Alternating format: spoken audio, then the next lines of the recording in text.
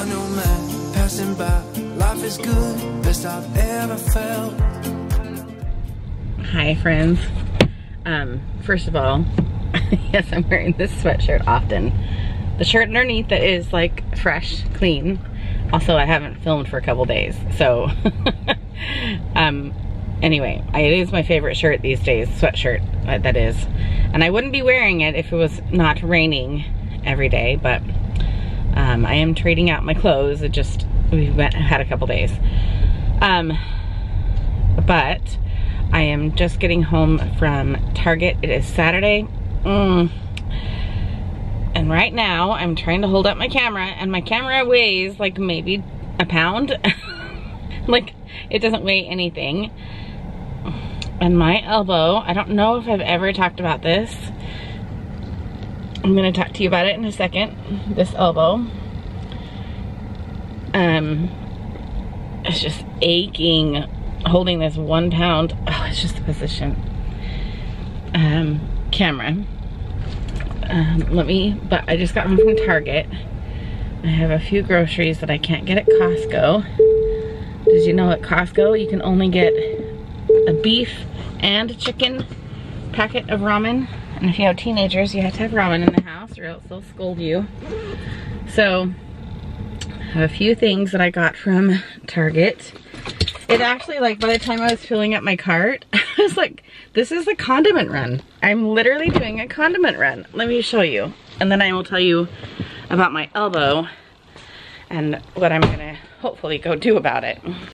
Okay, so ignore the shoes. These are actually, there are there shoes in here? Oh, those are for my friend. Going to her house tonight for game night. Okay, look at this. Yeah, it's condiments. It's ranch, uh, syrup, Fairlife milks. Gotta convince my kids to not drink our milks. Because I, anyway, but then we have ramen here. I have like, this one here has all the other ones. There's like multiple packs of them. I'd like to buy them in bulk at uh, Costco, but they don't sell just chicken. Abby wanted me to get mac and cheese at Costco too, and I totally forgot. I forgot to add it to my list. So I just got five boxes of them. They were on sale at Target.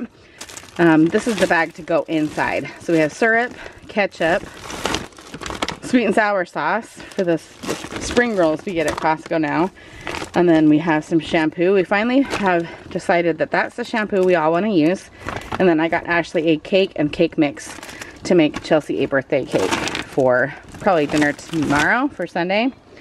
And yeah, so you can see it's just kind of a condiment run.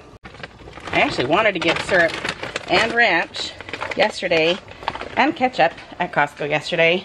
I just don't need condiment volumes of ketchup, despite what Kaylee thinks. and they, they didn't have ranch or syrup. Hello, Ash. Are you here? Of course she's here. She's on her iPad. Probably. Oh. I just have groceries to bring in. Did Abby go to work already? Okay.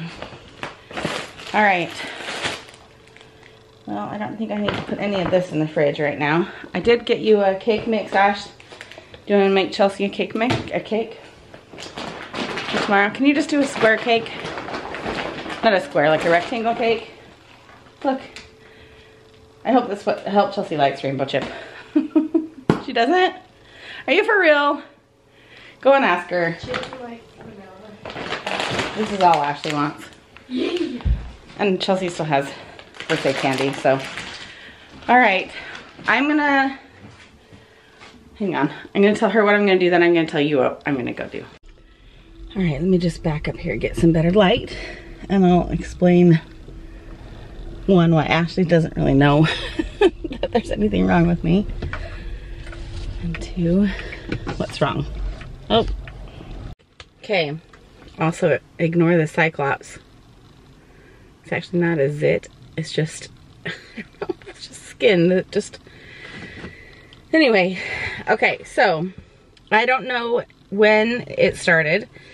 It was not an injury, or maybe it was, I have no idea. But my left elbow, and I would show you, except I don't want to take my sweatshirt off until I actually get to urgent care. Actually, I should just drive, because it's an hour and a half wait. I checked online. It's an hour and a half wait time, but you can't make an appointment online. He used to do that and it was wonderful. So you just go and check in and then sit in your car, which luckily I can watch a show in my car. So I don't know when the injury started. I, but it's what I, I, I have a lot of um, explaining, I guess. Um, it's not bone. It's not like I fell on it. It's it feels like a ligament or a muscle.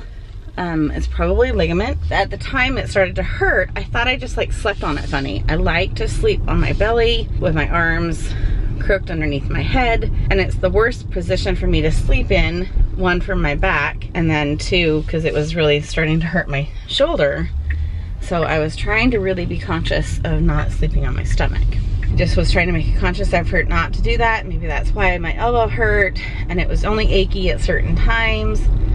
And so I just kind of just let it go, did better sleeping, not on it. But just over time, I just kept noticing it getting, just like it was just there, but I couldn't ever define, okay, it hurts when I do this. It hurts this time of day. It hurts for this reason, kind of a thing. I don't know, like a week ago, I think I called my dad and I was talking to him about it. I was also telling him how our trip was and everything like that. But I was just asking him about it and what he kind of thought it was. I don't ever try and have my dad diagnose me over the phone by any means, even if you FaceTime me.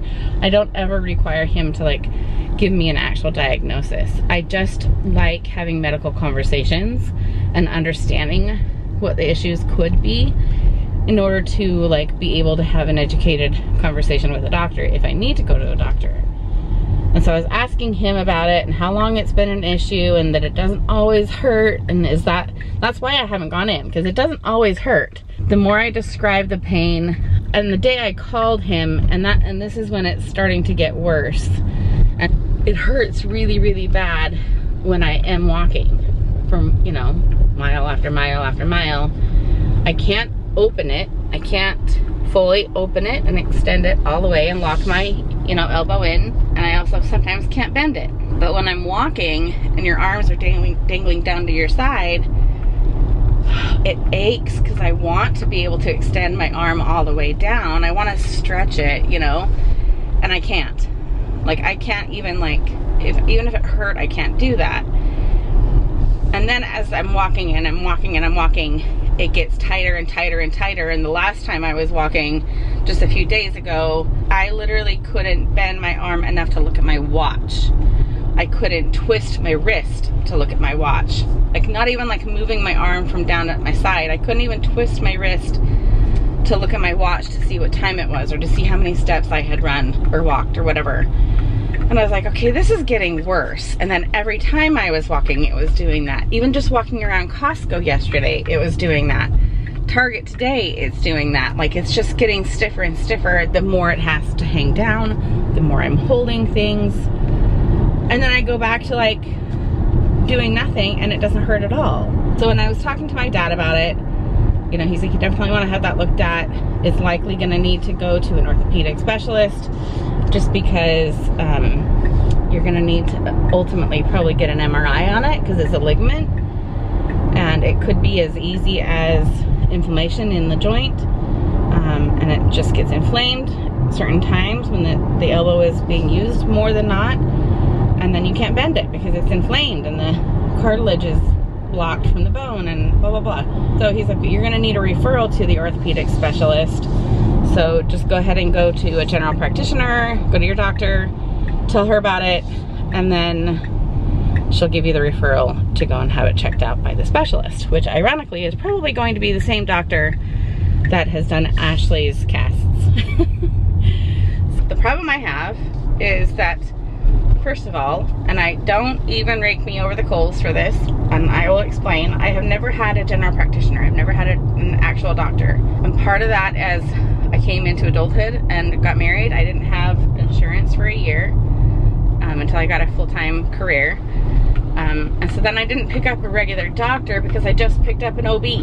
Like I just wanted an OB and I the only medication I needed to be on was my thyroid medication and my birth control and then I had babies and then that was the only kind of doctor I needed at the time. Now I have an endocrinologist and they do all the blood work I need to check and I'm working with her. She has been trying to get on me to get a regular practitioner, which I said last year, I said, okay, let me just get my new insurance signed up next year and I'll get one because I know it would be beneficial. The majority of my life, I haven't been sick. I haven't had issues that these two doctors that I've always had haven't been able to help me fix.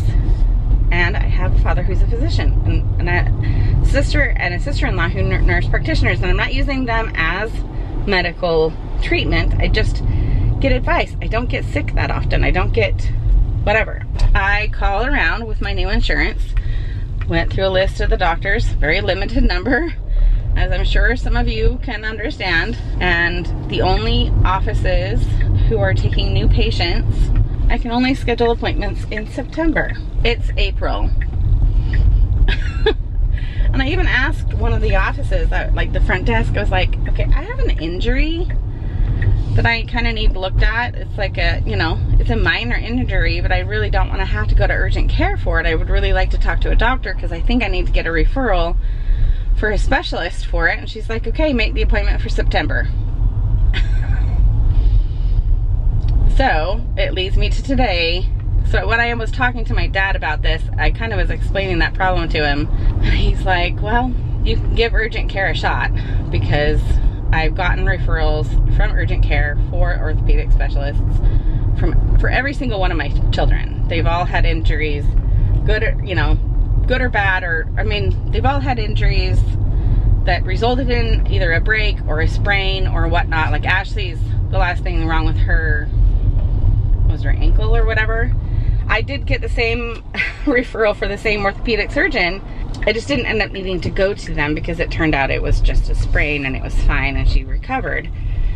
And so my hope today is that I can get that referral, that I can explain to the doctor today at urgent care my situation. I'm not trying to like scam the system. I'm gonna have to pay for this urgent care visit.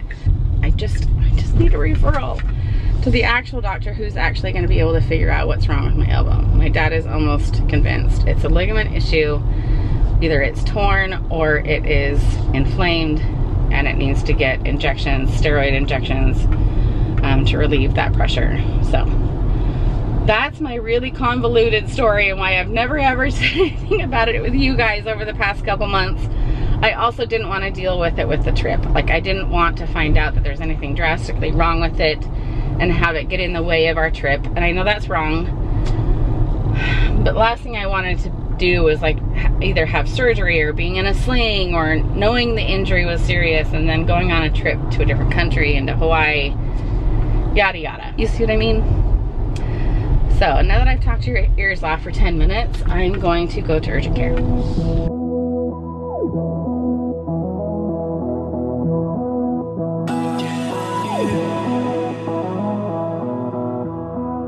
All right, take two on another urgent care. Um, I've been going to that urgent care and I don't even know, my, my 10 years, 11 years, I hate my new insurance with, with a passion. So I'm gonna give this place a call, uh, shot. They say they take my insurance. Good news is they do take my insurance and it's kind of nice because they um, make appointments. So I have an appointment in an hour and 25 minutes, which is the same wait time that I was probably gonna have at the other place. The nice thing about this is that it's an actual appointment time. At the other place, if they can fit you in sooner, you only have five minutes to make it to the urgent care in order to take that earlier spot. Otherwise, you're off the roster. And so you have to sit in the parking lot and you have to sit and wait. So this is kind of nice that I can actually just leave and come back at the actual appointment time. Unfortunately, I don't have anything to do out and about. So I'm gonna fill out my paperwork online to make sure I don't have anything, any questions or whatnot. And then um, I will come back in an hour and a half. Actually, it's like an hour because I'm like 20 minutes away from home, so. what can I do for, can I do something for an hour? I might as well just sit out here for an hour because it's 20 minutes home, 20 minutes back. That leaves only 40 minutes at home. only Chelsea and Ashley are at home and they're just, Ashley is super tired today. She went to open gym at her friend's cheerleading facility. They're on different squads. And so um, she worked and did that until like 8 p.m. last night. So she's super tired today. So I'm just kind of letting them be at home. They did do their chores. Um, so I'm just letting them have a day of rest. And that's the only reason why I would go home. But she's just really, really tired. So I'm just, I'm just, I think I'm just gonna stay out turn on a movie. I can't even tell you how frustrated I am and how badly I can't wait till November comes and I can change my stupid insurance again. I asked this lady that check in at urgent care an hour and a half ago. Can you please just get the insurance put in to the system so that I can guarantee that you take my insurance. I showed her my insurance card and she's like, yeah, we take that insurance. Can you please just start the process? She made the appointment and everything like there was no problem. And I said, can you just, can we just do that now? She's like, we'll just do it when we check in. And I was like, I know, but I have to wait an hour and a half. So I'd like to just, and then I sat in here in the car and I, I like put all my information in on the app which I've used before, Solv. It was, was the app, uh, the company that you used for your COVID test, like your vaccines or whatever, when you, back when you had to travel with an actual vaccine after COVID, that's what you used to be able to travel. So when we went to Hawaii, we had to go through Solv and and prove our vaccines that way and our COVID testing. So I already had the app, I already had it myself in the system, updated the information, did my photo ID, did the I, you know, uploaded my insurance card front and back, everything, everything seemed fine. You have an appointment, I can see it. Sitting right out front for an hour and a half. I've been sitting here. I go in and she's like, oh, we don't actually take that plan. She's like, well, we take that plan, but your plan doesn't actually cover urgent cares. like, then why didn't you tell me that an hour and a half ago when you said that, like, you, I don't have any other option. I, I'm just, like, I don't, I don't know where I'm gonna be able to go to try and find an answer for my elbow. And it really hurts. I have to do some research because the other urgent care said that I might be able to go to the hospital that's just up the hill has an urgent care. And I was like, okay, great, but I've never seen that urgent care. I've never used that one before. I use that hospital all the time. Where is the urgent care, and she said it's one, two, three, four cities over, four cities away. So my insurance, just, you know, go to an urgent care four cities, cities away. Like it'll take me an hour to get there. So then I need to see if that one actually, I don't know, I don't know what I'm gonna do. I'm so frustrated. I really was hoping to start to get answers today. And I was like trying to like put my, just trying to like take care of myself because I was just putting it off because I wanted to take care of the trip and make sure everyone was having a happy time and not worry about myself being hurt. I wanted everything else to go okay. Moms do that, right? Like mom makes sure everyone has insurance and everyone has themselves taken care of and everyone has their doctor appointments and everyone but you don't take of yourself and so I finally was gonna take care of myself and now I can't. Health insurance in this country is awful. It's absolutely awful. I just just bending my arm to put the camera down. now now knowing I can't go get it fixed. It's just gonna be on my mind more. Sorry, I just need to like. Alright, I am doing a lot better than you guys saw me last. Situation is still at hand, but I had a good cry with Jason and then a good cry with my dad and an hour trying to like go through my my insurance plan online to see if there was any other doctor I could go to. I literally have one clinic. Has five doctors at it. That's my only option. We're changing our plan in November, I can guarantee you. Um, and that's the, the office that I've already called that said, I think I actually called like twice, not knowing I was calling the same office. But anyway, I'm gonna tell them, look, you have to do emergency appointments. It's an actual family practice, like I could take my kids there. And kids have emergency appointments all the time. My kids go to emergency pediatrician appointments all the time, but they are given that option. So if this is an actual family doctor, you should have an emergency appointment option. So I am going to do my best on Monday to demand an emergency appointment. There's, I have zero option. Even if I pay the $450 to go to the ER, they can't help me. I, I would pay $450 for the referral to an orthopedic specialist, which now I'm wondering if I even have covered under my plan. So I, I don't know. But my dad is insistent that I get this checked out. He's like, I know what's wrong with it and it needs to be fixed. Did Jason put the cake in here? He did. We have a cake. That thing is so delicious looking. It is the strawberries and cream bar cake from Costco. It's one of our friend's birthday tonight, and so we're gonna celebrate with that. And I'm glad that I have that cake because I don't really have the mental capacity to put together a veggie tray or a fruit tray or make a dip with chips. I don't have that in me tonight. Um, luckily Jason got home fast today, had a chance to eat. I had half of his dinner already made for him. Come on, lighting, fix. So I could definitely use some fun time tonight. Oh, you know what? I'm gonna have, I'm gonna go get those other cards really quick. You can come and hop in the car. I'm gonna get my Hawaii cards. I know they have playing cards, but I'm hopefully the other couple comes. This one is super tired, huh? Should I show them your cake or no? It's kind of bad. It's kind of what? Kind of bad? We'll just take these two. It's not bad, it's cute. That's the cake that Ashley made today and we'll have that. You should put some sprinkles on it. Oh, that's okay. Do sprinkles on top. We'll do that for Chelsea's birthday tomorrow. Okay? We'll see you later. Maybe go take a shower and climb into bed in like two hours. Okay? Or an hour? You're already tired.